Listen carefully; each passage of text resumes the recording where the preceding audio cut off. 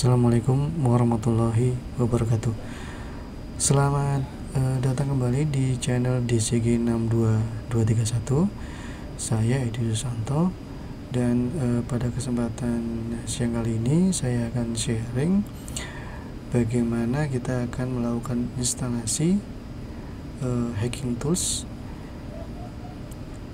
Yang mana hacking tools ini uh, dapat dikatakan memiliki fungsi yang uh, serbaguna.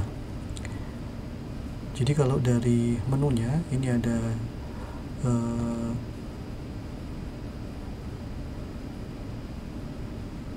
anonymously hiding tools, kemudian ada uh, fungsi untuk information gathering, ada word list generator, ada wireless attack tools, SQL injection, phishing attacks, uh, web attack tools, kemudian ada juga post exploitation tools.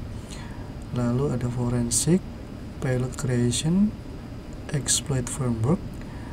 Ada juga reverse engineering DDoS attacks. Kemudian ada remote administrator tools atau RAT RAT kemudian ada XSS attack tools.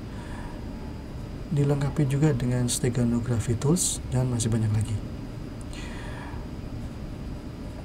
Oke, selanjutnya uh, kita akan demokan bagaimana kita melakukan instalasi tool tersebut. Untuk link GitHub nanti silahkan dilihat di video di bawah ini. Saya sertakan uh, apa namanya URL link GitHubnya beserta uh, komen-komen yang uh, digunakan untuk melakukan instalasi hacking tools ini. Selamat mengikuti dan selamat menyimak.